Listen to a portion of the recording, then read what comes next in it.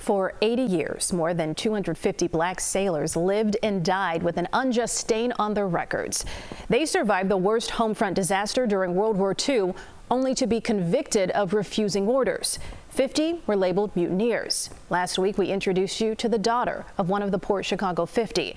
Our Noel Brennan caught up with her today, right after the head of the Navy shared some life-changing news. About a week ago, Carol Cherry had only hope. I'm proud of him. Uh, I miss him. Hope that her dad, Pop is right here. Cyril Shepard Jr., and other black sailors would have their names cleared. Many of them lived and died with some level of shame, some level of fear. They lived and died with the label mutineer ever since July 17, 1944.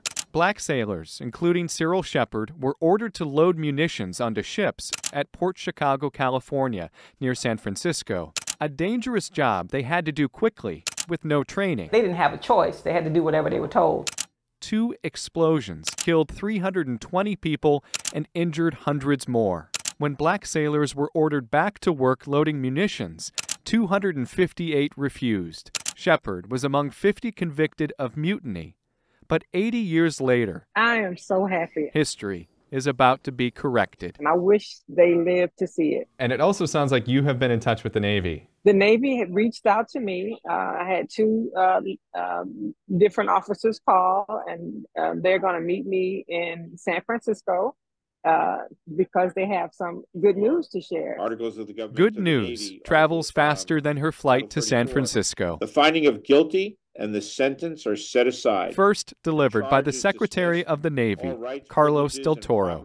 How long before speaking with us did you physically sign orders? Oh, within the hour. it was an extraordinary ceremony in my office. A swipe of a pen to right a wrong. We were essentially provided the legal basis by which not just to pardon the Port Chicago 50 and, and the other 200 the other 208 uh, but to exonerate all of them.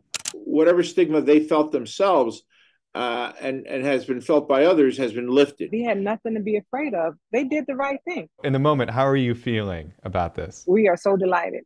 Uh, our dad would be very happy um, about this. A daughter's hope fulfilled and, and her dad's honor restored. It's finally happening that they can, you know, lift this veil of shame. Noel Brennan, CBS News, Chicago. Well, Carol will visit Port Chicago for a number of events honoring the lives lost there. The Secretary of the Navy will be there too to celebrate the exonerations with family of the Port Chicago 50.